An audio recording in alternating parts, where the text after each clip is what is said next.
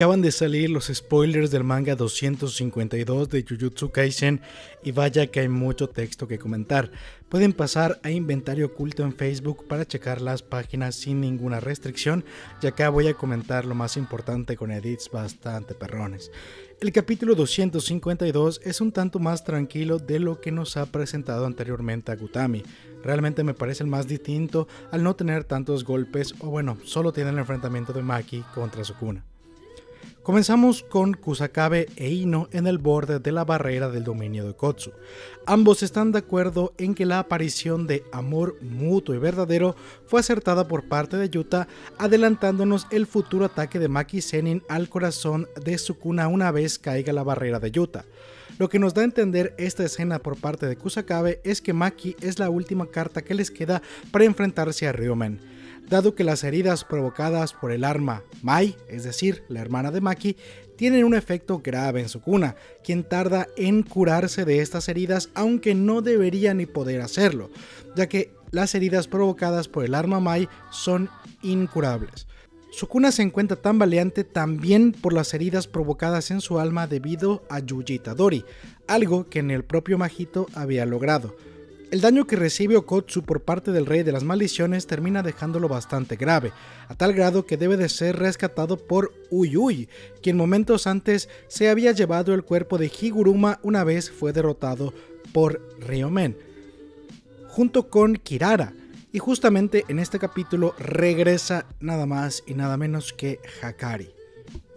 Aunque ya iremos a esa parte que no es tan importante, solo son dos hojas. Por su parte, Maki intenta hacer lo propio luchando contra Sukuna. El hecho de que Maki, la última descendiente del clan Zenin, sea como la reencarnación de Toji, el padre de Megumi, mientras están enfrentando a Sukuna es como si estuviese enfrentándose a su madre. Sinceramente, esta batalla por parte de Maki es bastante interesante. Incluso el propio Sukuna reconoce que enfrentarse a Maki es como enfrentarse a Majoraga en Shibuya solo para que nos demos una idea de lo poderosa que es ella. Y es que Majoraga es de las bestias más fuertes de Jujutsu Kaisen. Creo que es la segunda bestia más fuerte que existe o que ha creado Gea Gutami en su manga. Cuando regresa Hakari, Urahime nos da una información que podría ser demoledora ante el panorama que parece pintar que van a derrotar a Sukuna. Urahime declara que Sukuna aún no ha enseñado todo su arsenal y aún podría quedarle una carta más por jugar y da a entender que si Gojo no pudo contra Ryumen, esos muertos que están ahora no tienen nada que hacer y él simplemente se está divirtiendo. Las palabras de Urahime podrían referirse a la asimilación de Tengen con la humanidad, siendo la última voluntad de Kenjaku antes de regresar a ese árbol que parecía el feto de Tengen que salió disparado.